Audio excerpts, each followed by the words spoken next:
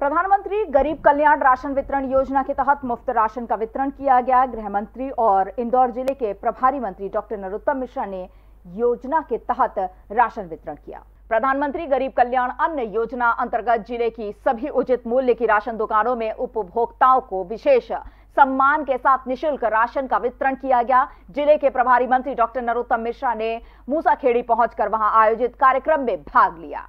और उपभोक्ताओं को निशुल्क राशन का वितरण किया।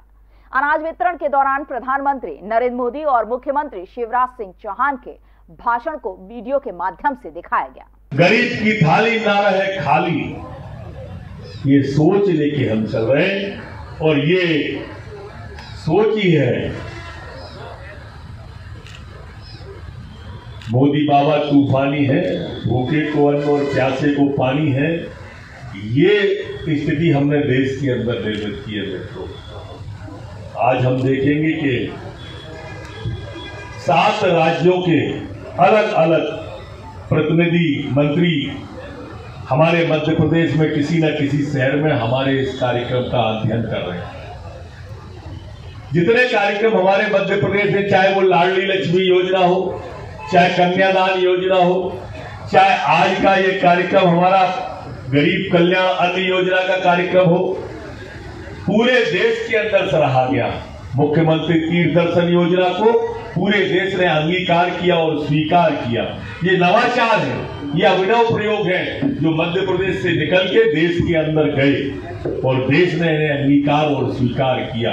भारतीय जनता पार्टी गाँव गरीब किसान की झुग्गी झोपड़ी के इंसान की और महिलाओं के सम्मान की चिंता करती है। इस अवसर पर गोवा के विशेष रूप से आए हुए खाद्य मंत्री गोविंद गावड़े और वहाँ के खाद्य सचिव संजय गिहार भी विशेष रूप से मौजूद रहे। इस दौरान नरोत्तम मिश्रा ने कहा कि हमारा प्रयास है कि किसी भी गरीब की थाली खाली ना रहे। उन्होंने कहा, मध्य प्रदेश की सरकार ने कई योजनाएँ लागू की जो जन कल्याण की योजनाएँ हैं, लाडली लक्ष्मी और तीर्थ दर्शन जैसी अनेकों योजनाओं को अन्य प्रदेशों में भी अपनाया है। संगीत की स्वर लहरियों से सांस्कृतिक ताने बाने तक।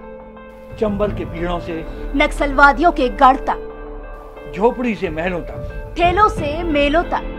पगडंडियों से सड़कों तक। गाँव से शहरों तक। व्यापार से उद्योगों तक। राजनीति से कूटनीति तक। दखन न्यूज़। आपके हक।